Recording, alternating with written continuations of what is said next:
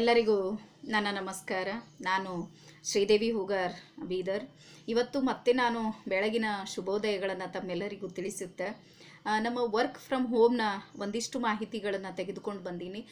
ನಮ್ಮ ಶಿಕ್ಷಕರಿಗೆ ಎಲ್ಲನೂ ಗೊತ್ತಾಗ್ತಾ ಇದೆ. ಆದರೂ ಸ್ವಲ್ಪ ಕನ್ಫ್ಯೂಸನ್ನು ಮಾಡ್ಕೊಳ್ತಾ ಇದ್ದಾರೆ, ಸ್ವಲ್ಪ ಸಮಸ್ಯೆ ಮಾಡ್ಕೊಳ್ತಾ ಇದ್ದಾರೆ. ಹಾಗಾಗಿ ಆ ಸಮಸ್ಯೆಗಳು ಮಾಡ್ಕೊಳ್ಬಾರ್ದು, ಅತ್ಯಂತ ಸಹಜವಾಗಿ ತೆಗೆದುಕೊಳ್ಬೇಕು ಅನ್ನುವಂಥ ನಿಟ್ಟಿನಲ್ಲಿ ಇವತ್ತಿನ ಒಂದು ವಿಷಯವನ್ನು ತೆಗೆದುಕೊಂಡು ಮಾತಾಡ್ತಾ ಇದ್ದೀನಿ. ಏನು ಅಂದ್ರೆ ನಾಲ್ಕು ನೂರು ಪದಗಳಲ್ಲಿ ಅದು ಏನನ್ನ ಬರಿಬೇಕು ಅಂತ ನಾಲ್ಕು ನೂರು ಪದಗಳು ಬರಿಬೇಕು, ಏನು ಬರಿಬೇಕು, ಯಾವ ರೀತಿ ಬರಿಬೇಕು ಅನ್ನುವಂಥದ್ದು ಸ್ವಲ್ಪ ಗೊಂದಲ ಆಗ್ತಾ ಇದೆ. ಆದರೆ ಇದನ್ನು ನಾನು ಸ್ಪಷ್ಟ ಮಾಡೋದಕ್ಕೆ ಇಷ್ಟಪಡ್ತೀನಿ. ಏನು ಅಂದ್ರೆ, ನಿಮಗೂ ಗೊತ್ತು ನಮ್ಮದು ಲಾಕ್ಡೌನ್ ಅಥವಾ ಕೋವಿಡ್ ನೈನ್ಟೀನ್ ಅಂತ ಸಂದರ್ಭದೊಳಗೆ ನಾವು ಮನೆಯಲ್ಲಿ ಕುಳಿತುಕೊಂಡೇ ನಾವು ಡ್ಯೂಟಿ ಮಾಡೀವಿ. ವರ್ಕ್ ಫ್ರಮ್ ಹೋಮ್ನ ಮನೆಯಲ್ಲಿ ಕುಳಿತುಕೊಂಡು ಮಾಡೀವಿ. ಅದಾದ ಮೇಲೆ ಮತ್ತೆ ಹದಿನಾಲ್ಕು ದಿನಗಳು ನಾವೇನು ಮಾಡೀವಿ ಅಂದರೂ, ಶಾಲೆಯನ್ನು ಮಾಡೀವಿ. ಶಾಲೆಯಲ್ಲಿ ಮಕ್ಕಳು ಇರಲಿಲ್ಲ. ಇದು ಸ್ಪಷ್ಟ. ಆದರೂ ಸಮೇತ ನಾವು ಡ್ಯೂಟಿ ಮಾಡೀವಿ. ಈಗ ಒಂದು ಪ್ರಶ್ನಾರ್ಥಕ ಚಿಹ್ನೆ ಅಂದರೆ ಮಕ್ಕಳೇ ಇಲ್ಲ ಅಂದರೆ ಏನು ಡ್ಯೂಟಿ ಮಾಡೀವಿ ಅನ್ನುವಂಥದ್ದು ಸ್ಪಷ್ಟತೆಯನ್ನು ನೀಡಬೇಕಾಗ್ಯದ ನಮಗೆ ಇದನ್ನು ಮೊದಲು ನೀವು ಅರ್ಥ ಮಾಡ್ಕೊರಿ. ಹಾಗಾಗಿ ಹದಿನಾಲ್ಕು ದಿನಗಳು ನಾವು ಶಾಲೆಯಲ್ಲಿ ಏನೇನು ಕೆಲಸಗಳನ್ನು ಮಾಡೀವಿ ಅನ್ನುವಂಥದ್ದು ದಾಖಲೀಕರಣವನ್ನು ಮಾಡಬೇಕು. ಅದು ಸುಮಾರು ನಾಲ್ಕು ನೂರು ಪದಗಳಲ್ಲಿ ಇರಬೇಕು ಅನ್ನುವಂಥದ್ದು ಒಂದು ಕಂಡೀಷನ್ ಕಡ್ಡಾಯ. ಅದರಲ್ಲಿ ನೀವು ಮೊಟ್ಟ ಮೊದಲು ಯಾವುದನ್ನು ನಮೂದಿಸಬೇಕು ಅಂತಂದ್ರೆ ನಮ್ಮದು ಮೈಕ್ರೋಸಾಫ್ಟ್ ಆ್ಯಪ್ ಟೀಮ್ನಲ್ಲಿ ನಾವು ಏನು ಮಾಡಿದ್ದೀವಿ ಅಂದ್ರೆ ತರಬೇತಿಗಳನ್ನು ನೀಡೀವಿ ಮತ್ತು ನೀವು ಸಮೇತ ತರಬೇತಿಗಳನ್ನು ಪಡೆದುಕೊಂಡಿರಿ. ನಲಿಕಲಿ ಶಿಕ್ಷಕರ ತರಬೇತಿ ಮತ್ತು ಜೊತೆಗೆ ಇಂಗ್ಲೀಷ್ ತರಬೇತಿ ಆಗ್ಯದ, ಆಮೇಲೆ ಸಿಕ್ಸ್ ಟು ಏಟ್ದಾಯಿತು ಆಮೇಲೆ ನಾಲ್ಕು ಮತ್ತು ಐದನೇ ತರಗತಿದು ತರಬೇತಿಗಳಾದವು ಅದಾದಮೇಲೆ ಮತ್ತೆ ಮುಖ್ಯ ಗುರುಗಳ ತರಬೇತಿ, ಈ ರೀತಿ ಸಾಕಷ್ಟು ತರಬೇತಿಗಳನ್ನು ಮೈಕ್ರೋಸಾಫ್ಟ್ ಆ್ಯಪ್ ಟೀಮ್ನಲ್ಲಿ ತರಬೇತಿಗಳು ನಡೆದವು. ಅದನ್ನು ನೀವೇನು ಮಾಡ್ಬೇಕಂದ್ರೆ ದಾಖಲೀಕರಣ ಮಾಡಬೇಕು. ನೀವು ಯಾವ ತರಬೇತಿಯನ್ನು ತೆಗೆದುಕೊಂಡಿರಿ ಮತ್ತು ಯಾರು ಆ ತರಬೇತಿಯನ್ನು ಕೊಟ್ಟರು ಅದಲ್ಲಿ, ಅಲ್ಲಿ ನೀವು ಏನು ಕಲಿಕೆಯನ್ನು ಮಾಡುವುದಕ್ಕೆ ಸಾಧ್ಯ ಆಯಿತು. ಆಮೇಲೆ ನಮ್ಮ ವೃತ್ತಿಗೆ ಅದು ಯಾವ ರೀತಿ ಸಪೋರ್ಟಿವ್ ಆಯಿತು. ಹೊಸ ಅನುಭವಗಳು ಯಾವ ರೀತಿ ಕೊಡ್ತು? ವಿಷಯಾಧಾರಿತವಾಗಿಯೂ ನಾವು ತೆಗೆದುಕೊಂಡಿವಿ, ಮತ್ತು ಜನರಲ್ ಆಗಿಯೂ ಸಮೇತ ತೆಗೆದುಕೊಂಡಿವಿ. ಈಗ ಸಿಕ್ಸ್ ಟು ಏಟ್ ಇದ್ದವರಿಗೆ ಅವರ ವಿಷಯಗಳಿಗೆ ಅವರು ತರಬೇತಿಯನ್ನು ಪಡೆದಿದ್ದಾರೆ. ಹಾಗಾಗಿ ಪಡೆದಿರುವಂತಹ ತರಬೇತಿಯಲ್ಲಿ ನಾವು ಏನನ್ನ ಕಲ್ತೀವಿ ಅನ್ನುವಂಥದ್ದು ಸ್ಪಷ್ಟವಾಗಿ ನೀವು ಬರೆಯೋ ಪ್ರಯತ್ನವನ್ನು ಮಾಡಿರಿ ಮೊದಲು. ಅದಾದ ಮೇಲೆ ಈಗ ಅದು ತರಬೇತಿದು ಬರೆದ್ರೆ ಸುಮಾರು ಮತ್ತೆ ಒಂದು ಎರಡು ನೂರಲಿಂದ ಎರಡು ನೂರ ಐವತ್ತು ಪದಗಳು ಫುಲ್ ಆಗಿಬಿಡ್ತದೆ.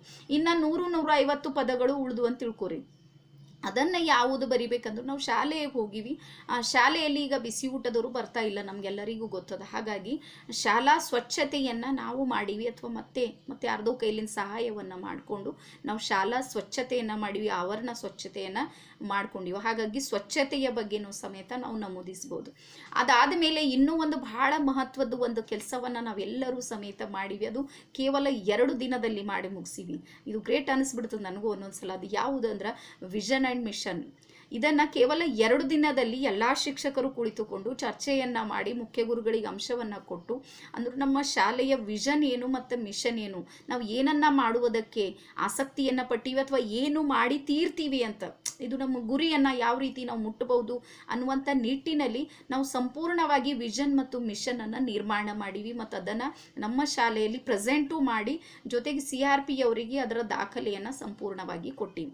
ಹಾಗಾಗಿ ಈ ಮೂರು ನಾಲ್ಕು ಅಂಶಗಳನ್ನು ನೀವು ಇಲ್ಲಿ ಬರಿಬೇಕು. ಮೊದಲು ಡೈರಿ ಮೇಂಟೈನ್ ಮಾಡಿರಿ. ನಾನು ಹೇಳೋದು ಎಲ್ಲರಿಗೆ ಹೇಳೋದೇನು ಅಂದ್ರೆ, ನೀವು ಡೈರೆಕ್ಟಾಗಿ ಬ್ಲಾಗಿಗೆ ಹೋಗಿ ಮಾಡ್ತೀನಿ ಅಂತಂದ್ರು ಸೀನಿಯರ್ ಟೀಚರ್ಸ್ ಇದ್ದವ್ರಿಗೆ ಭಾಳ ಕಷ್ಟ ಅದ. ಆಮೇಲೆ ನಿನ್ನೆ ಒಂದು ನಾನು ವಿಡಿಯೋ ಸಮೇತ ಹಾಕಿದ್ದೆ ಯಾವುದು ಅಂದ್ರೆ ನಾವು ಬ್ಲಾಗರಲ್ಲಿ ಯಾವ ರೀತಿ ಆಡಿಯೋಗಳನ್ನು ಕಳಿಸ್ಬೇಕು ಅಂತ. ಆಡಿಯೋ ಕಳಿಸ್ಬೇಕು ಅಂದರೆ ಏನು ಮಾಡಬಹುದು ಅನ್ನುವಂಥದ್ದು ನಿನ್ನೆ ನಾನು ಕಳಿಸಿದ್ದೆ. ಸೊ ಹಾಗಾಗಿ ನೀವು ಯಾವುದೇ ಗೊಂದಲ ಮಾಡಿಕೊಳ್ಳಲ್ದೆ ಫಸ್ಟ್ ನೀವು ಡೈರಿಯನ್ನು ಮೇಂಟೈನ್ ಮಾಡಿದ್ರಿ. ಡೈರಿ ಒಳಗೆ ಬರೆದ್ರಿ ಅಂದ್ರೆ ಆ ಡೈರಿನಿಂದ ನೇರವಾಗಿ ನೀವು ಫೋಟೋನ ಕ್ಲಿಕ್ ಮಾಡಿಕೊಂಡು ಗ್ಯಾಲರಿಯಲ್ಲಿ ಸೇವ್ ಮಾಡಿ, ಆ ನಂತರ ನೀವು ನಿಮ್ಮ ಬ್ಲಾಗಿಗೆ ಅದನ್ನು ಅಪ್ಲೋಡ್ ಮಾಡ್ಬೋದು. ಸೀನಿಯರ್ ಟೀಚರ್ಸ್ ಇದ್ದವರು ನಿಮಗೆ ಅಪ್ಲೋಡ್ ಮಾಡೋದು ಒಂಚೂರು ಕಷ್ಟ ಆಗ್ತಾ ಇದೆ ಅಂತೇಳಿ ಅಂದ್ಕೊಂಡಿನಿ ನಾನು. ನೀವು ಬೇರೆ ಇನ್ನಿತರ ಶಿಕ್ಷಕರಿಂದ ಸಹಾಯ ಪಡೀರಿ, ಇಲ್ಲಾಂದ್ರೆ ನಮ್ಮ ಮನೆಯಲ್ಲಿ ಮಕ್ಕಳು ಭಾಳ ಜಾಣ ಇದ್ದಾರೆ. ಅವ್ರದ್ದೊಂದಿಷ್ಟು ಸಹಾಯ ತೊಗೊಂಡು ಕಲ್ತ್ರಿ, ಒಂದು ದಿವಸ, ಎರಡು ದಿವ್ಸ ಕಲ್ತ್ರೆ ಅವರೆಲ್ಲನೂ ಕಲಿಸಿ ಕೊಡ್ತಾರೆ.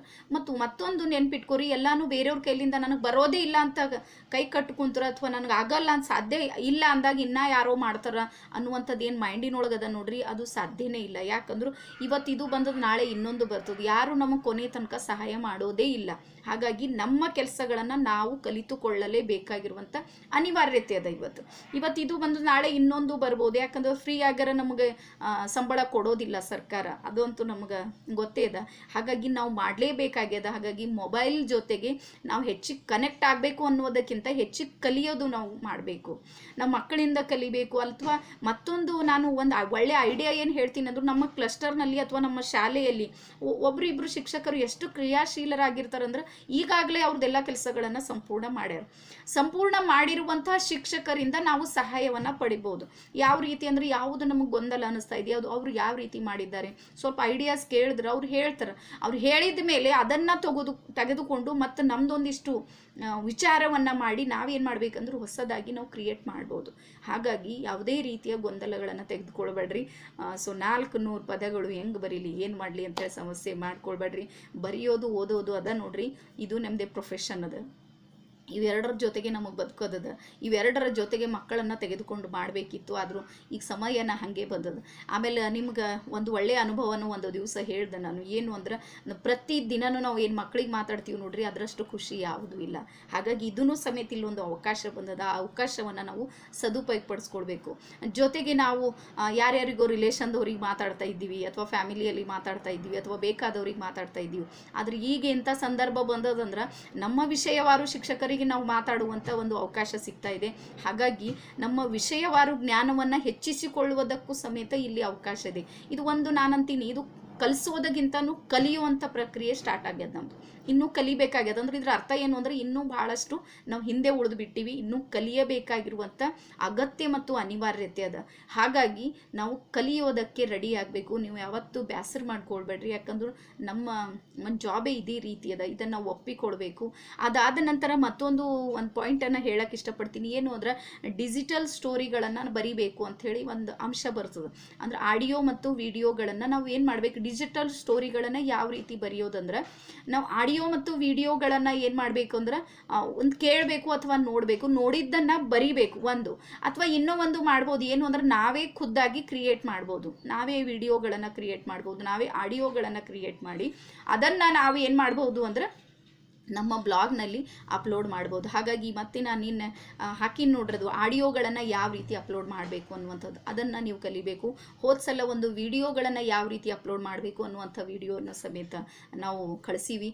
ಹಾಗಾಗಿ ಇದನ್ನು ತೆಗೆದುಕೊಂಡು ನೀವು ಸ್ವಲ್ಪ ಸ್ವಲ್ಪ ಒಂಚೂರು ನೀವು ಧೈರ್ಯ ಮಾಡಿ, ಮಾಡ್ರಿ ಅನ್ನೋದಕ್ಕಿಂತನೂ ನೀವು ಅದಕ್ಕೆ ಒಗ್ಗಿಕೊಳ್ಳುವುದು ಕಲಿಬೇಕು ಕಲಿಬೇಕು. ಯಾಕಂದ್ರೆ ಯಾವುದು ಹೊಸದು ಬರ್ತದೆ ನೋಡ್ರಿ, ಅದನ್ನು ಸ್ವೀಕಾರ ಮಾಡೋದಿಲ್ಲ. ನಮ್ಮ ಮೈಂಡ್ ಆ ರೀತಿ ಇರ್ತದೆ. ಆದರೂ ಸ್ವೀಕಾರ ಮಾಡಲೇಬೇಕು. ಸ್ವೀಕಾರ ಮಾಡಿದಾಗ ಮಾತ್ರ ನಾವು ಏನನ್ನಾದರೂ ಮಾಡೋದಕ್ಕೆ ಸಾಧ್ಯದ ಇಲ್ಲ ಅಂದ್ರೆ ಇಡೀ ಜೀವನ ಏನಾಗಿರ್ತದೆ ಅಂದ್ರೆ ಇನ್ನೊಬ್ಬರ ಸಹಾಯನೇ ಪಡ್ಕೊಳ್ಬೇಕಾಗ್ತದೆ. ಹಾಗಾಗಿ ಸಂಬಳ ನಮ್ಮದು ಅಂದ್ರೆ ಸಹಾಯ ಇನ್ನೊಬ್ಬರ ಅಗತ್ಯ ಇಲ್ಲ ಅಂತೇಳಿ ಅನ್ನಿಸ್ತದೆ ಹಾಗಾಗಿ ಸ್ವಂತಿಕೆ ನಮ್ಮ ಹತ್ರ ಬರಬೇಕು. ನಾನು ಏನಾದರೂ ಮಾಡಬಹುದು ಅಥವಾ ಮಾಡಬಲ್ಲೆ ಅನ್ನುವಂಥ ಸಾಮರ್ಥ್ಯ ನಮ್ಮೊಳಗೂ ಇದೆ ಅನ್ನುವಂಥದ್ದು ಈ ನಿಟ್ಟಿನಲ್ಲಿ ನಾವು ತೋರಿಸಿಕೊಡ್ಬೇಕಾಗಿದೆ. ಹಾಗಾಗಿ ಯಾವುದೇ ರೀತಿಯ ಗೊಂದಲಗಳನ್ನು ಮಾಡಿಕೊಳ್ಳದೇನೆ ನಾಲ್ಕು ನೂರು ಪದಗಳನ್ನು ನೀವು ಇವತ್ತು ಬರೆದು ಅದನ್ನು ನಿಮ್ಮ ಬ್ಲಾಗಿಗೆ ಅಪ್ಲೋಡ್ ಮಾಡಿರಿ. ಜೊತೆಗೆ ಆಡಿಯೋ ಮತ್ತು ವಿಡಿಯೋಗಳನ್ನು, ಅಂದರೆ ಡಿಜಿಟಲ್ ಆಡಿಯೋ ವಿಡಿಯೋಗಳನ್ನು ವೀಕ್ಷಣೆ ಮಾಡಿ ಬರಿಬೋದು ಅಥವಾ ನಾವೇ ರೆಡಿ ಮಾಡಿನೂ ಬರಿಬೋದು. ಇಲ್ಲಿ ಸ್ವತಂತ್ರದ, ಆಮೇಲೆ ಬಹಳಷ್ಟು ಕಂಡೀಷನ್ಸ್ಗಳನ್ನು ನಾವು ಕೇಳ್ತಾ ಇದ್ದೀವಿ ಅದು ಮಾಡಬಾರ್ದು, ಇದು ಮಾಡಬಾರ್ದು. ಹೌದು, ಯಾವುದೂ ಇಲ್ಲ. ನೀವು ಆ ನಿಯಮವನ್ನು, ಅದು ಆ ಪಾಯಿಂಟನ್ನು ಇಟ್ಕೊಂಡ್ರಿ ಆ ಪಾಯಿಂಟಿನ ಸುತ್ತ ನೀವು ಸ್ವತಂತ್ರವಾಗಿ ಏನೇ ಮಾಡ್ಬೋದು. ಆ ಪಾಯಿಂಟ್ ಅದರೊಳಗೆ ಬರಬೇಕು ಆ ಅಂಶ ಬರಬೇಕು? ಆ ಕಲಿಕಾಂಶ ಅದರೊಳಗೆ ಇರಬೇಕು, ಕಾಣಬೇಕು. ಅದ್ರ ಸುತ್ತ ನಾವು ಯಾವುದೇ ಬೇರೆ ಬೇರೆ ಚಟುವಟಿಕೆಗಳನ್ನು ಸಮೇತ ಮಾಡಿ ನಮ್ಮ ಬ್ಲಾಗ್ನಲ್ಲಿ ನಾವು ಅಪ್ಲೋಡ್ ಮಾಡ್ಬೋದು. ಹಾಗಾಗಿ ಮೊದಲು ಡೈರಿಯನ್ನು ಮೇಂಟೈನ್ ಮಾಡಿರಿ. ನೀವು ಯಾರು ಡೈರಿ ಮೇಂಟೈನ್ ಮಾಡಿಲ್ಲ ನೋಡ್ರಿ, ಅವ್ರಿಗೆ ಭಾಳ ಕಷ್ಟ ಆಗ್ತದೆ. ಆಮೇಲೆ ನಿಮ್ಗೆ ಗೊತ್ತಾಗ್ತದೆ ಒಂದು ವೇಳೆ ಮಾಡಿಲ್ಲ ಅಂದ್ರೆ.